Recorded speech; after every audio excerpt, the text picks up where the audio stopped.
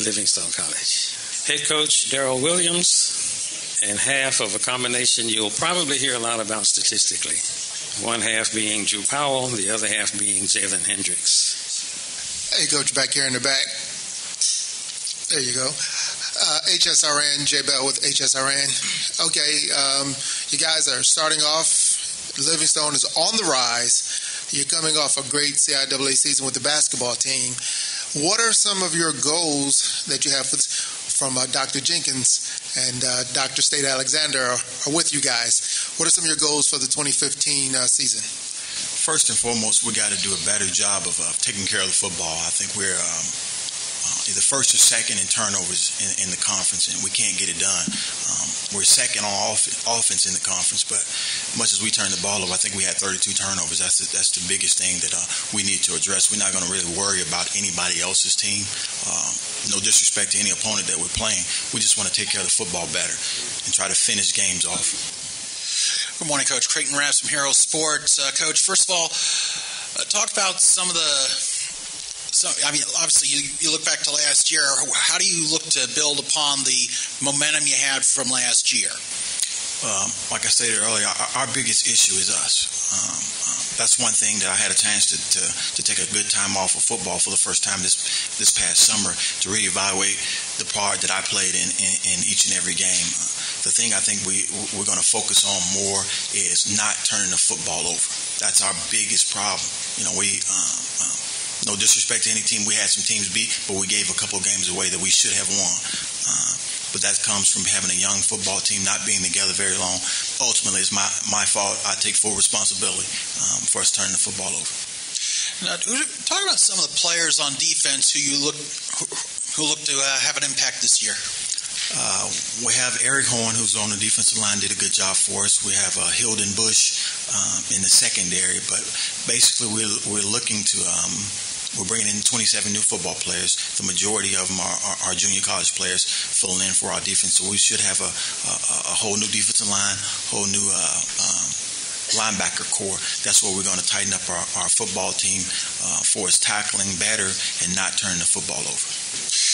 Um, last, my last question. I'll, I'll address it really both to Drew and Jalen. I'll start with Drew talk about some some of your key returnees and some of the new guys on offense who who you think are going to really step up big this year. And then after you're done, Drew, I'll let Jalen uh, chip in.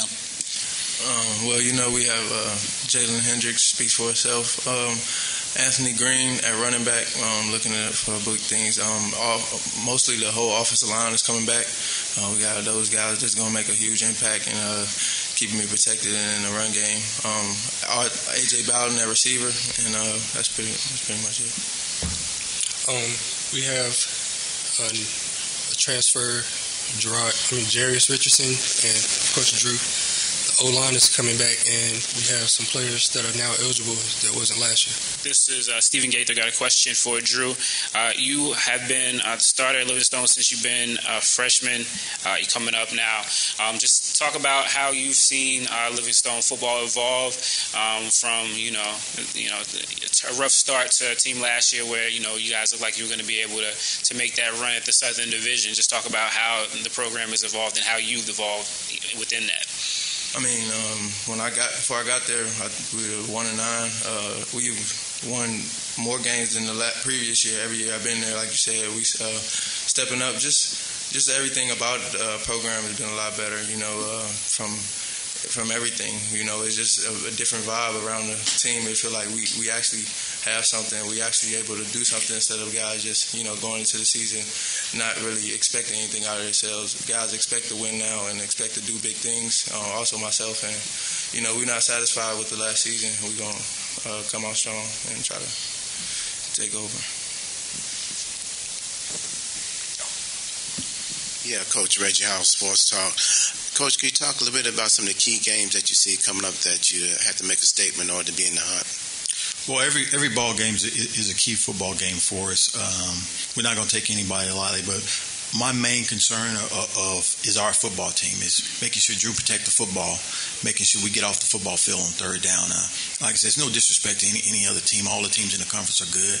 Um, our non-conference opponents are, are, are, good also, but I'm more concerned with our football team because um, only one game we really we really didn't perform up to our expectation. That was the Elizabeth City game. Every other game, I felt that we had a, a, a 85, 90 percent chance of winning. Um, so, like I said, I, just, I really want to focus on our football team, making sure our coaches coach the little things and be detailed. And um, the thing that we're going to focus on is, is uh, making sure our players have a why why you play the game, what's your passion, and who you playing the game for. So, you know, when I took a little time off, that's that's one thing I. Uh, and coach, to follow up, you say you have freshmen and JUCOs coming in. What kind of support staff do you have from the alumni as well as the football program? Like, do you have speakers come in? Uh, what what kind of support do you have for the players?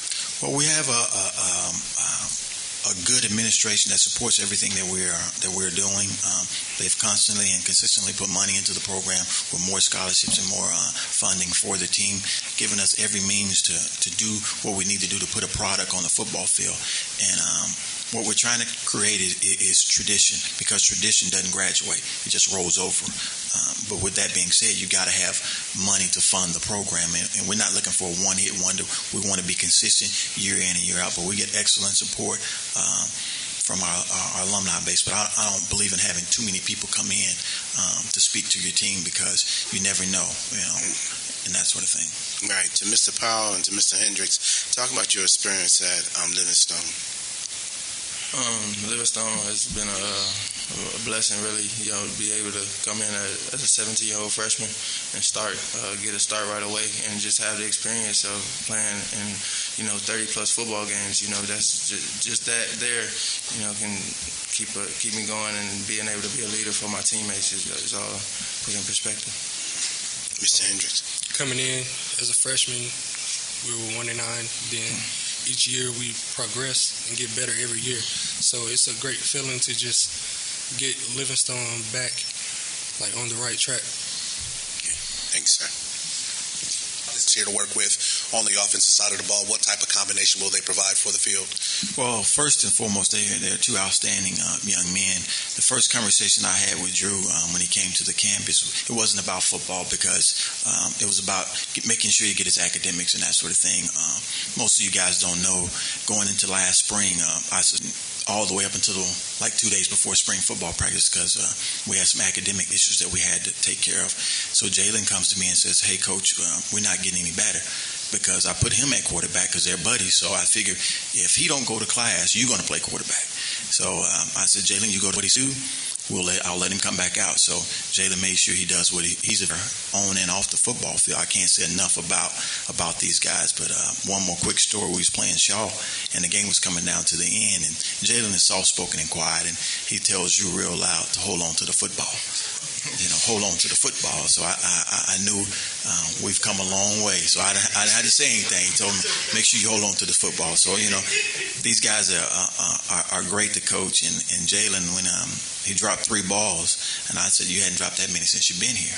You know, is something wrong? Is anything wrong? But like I said, these guys are great to coach. At practice, they're on track to graduate. And, and that's my proudest thing. you know, they're going to graduate. And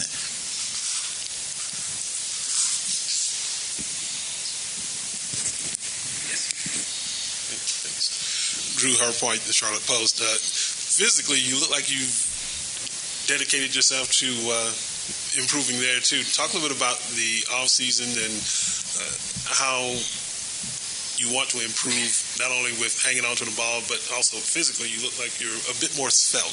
Uh, I appreciate it, but um, you know, physically, uh, definitely been been trying to you know go hard and, and uh, try to tone up a little bit because I feel like some of the turnovers that coaches talk about was when I was tired. You know what I'm saying? And when I had you know gave my all, but I still I still had more to go. So I I focused on you know keep pushing myself, keep pushing myself because I'm ultimately going to be the one with the ball in my hand every play. So I gotta you know focus in and be able to keep going and hold on to the rock when when it's crunch time.